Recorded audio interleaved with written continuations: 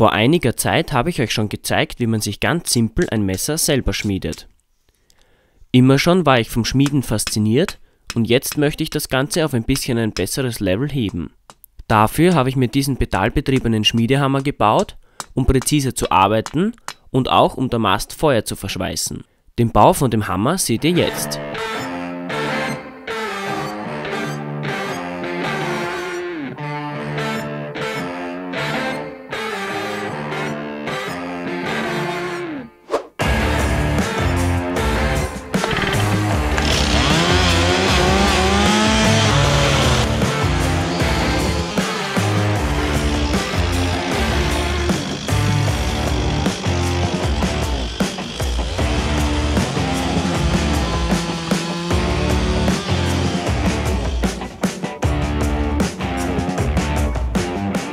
Grundgestell ist aus altem Dachstuhlholz, wobei ich die Teile teilweise gehobelt, entgradet und gezapft bzw. verschraubt habe. Mit Fuchsschwanz und Stemmeisen kommt man da aber auch alternativ gut voran.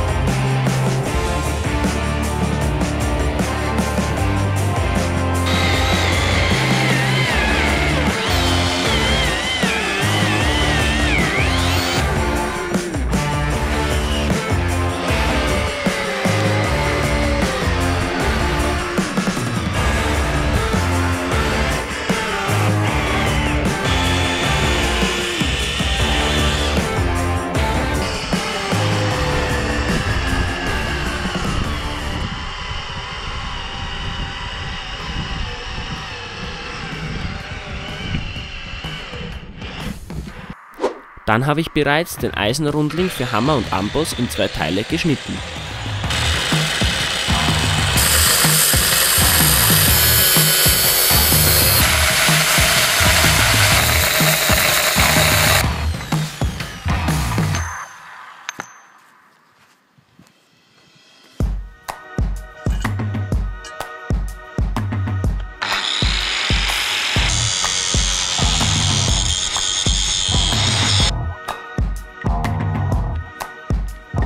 Kugellager zu schweißen ist sicher immer eine schlechte Idee, für den Schmiedehammer als Lager hat es aber gereicht.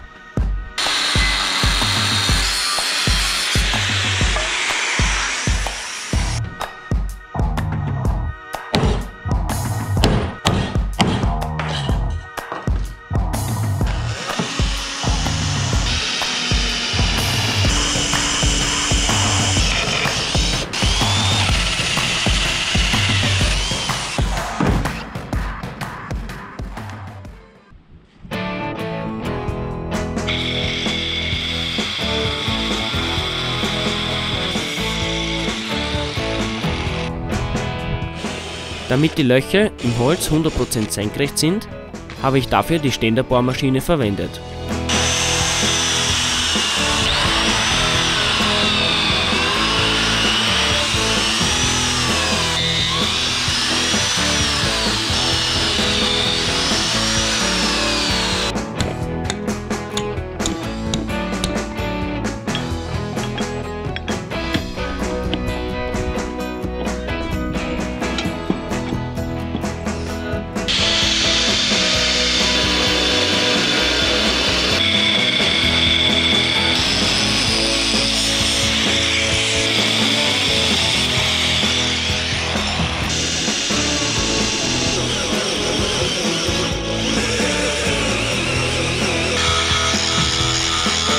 Dann habe ich auch schon den Amboss geschweißt und mit einem Stück Leder als Dämpfung vernagelt.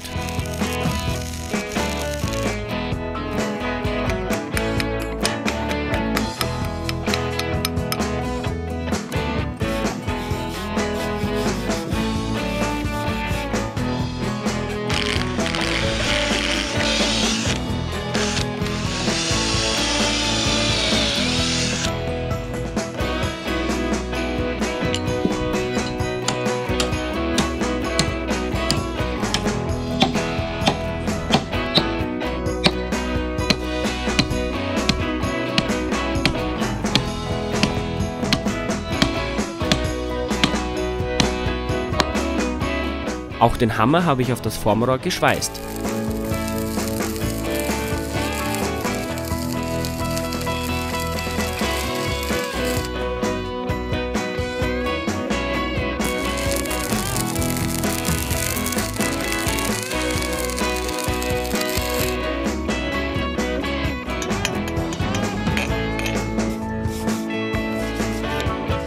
Hier seht ihr, wie ich mit der Elektrode das Material einmal links und einmal rechts verschmelze und Richtung Spalt schiebe. Idealerweise lässt sich die Schlacke dann ganz einfach abheben.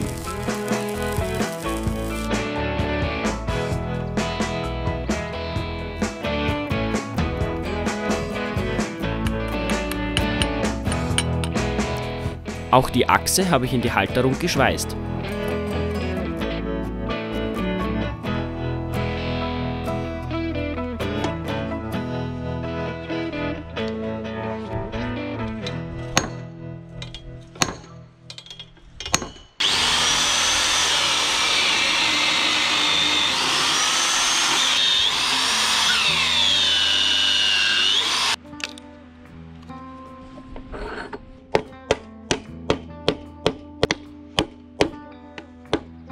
Auch für die Pedalachse habe ich Lager verbaut und dann das ganze Pedal zusammengeschweißt.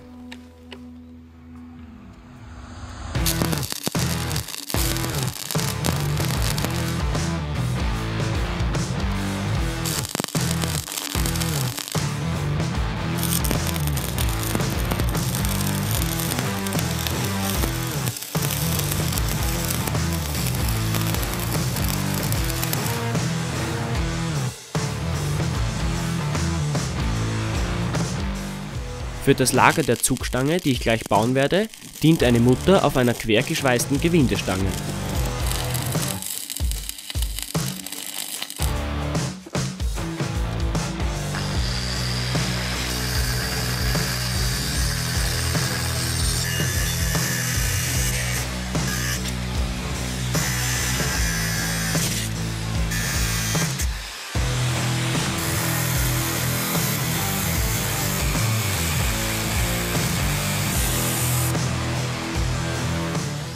Das wird der obere Teil des Hebemechanismus.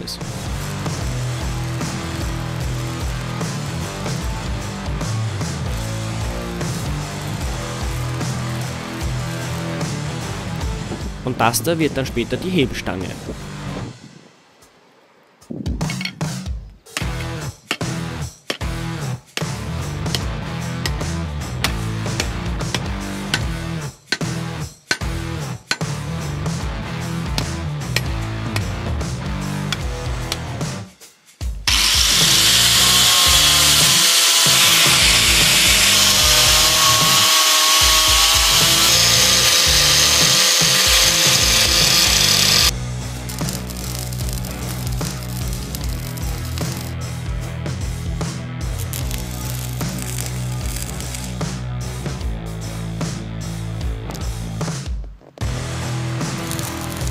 Und hier seht ihr, wie ich die Hebelstange auf die Mutter verschweiße.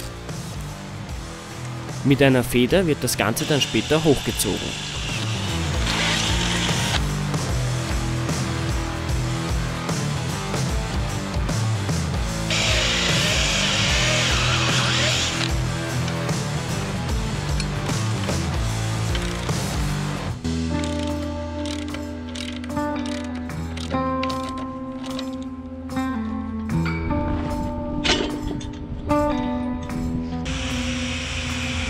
Die Leisten dienen nur zur zusätzlichen Stabilität und zum Tragen des Hammers.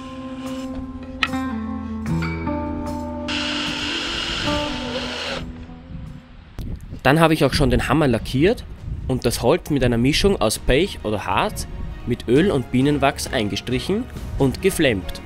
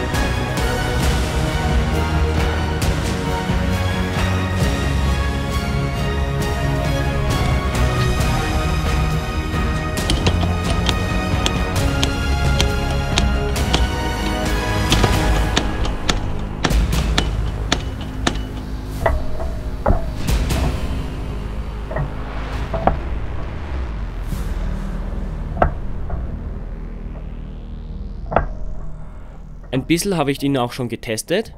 Alle Materialien übrigens, die ich verwendet habe, haben sich bei mir über die Jahre so angesammelt.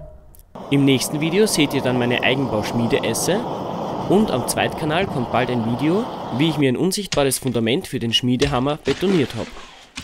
Danke fürs Anschauen, teilen, liken und abonnieren würde mir sehr weiterhelfen und damit bis zum nächsten Mal.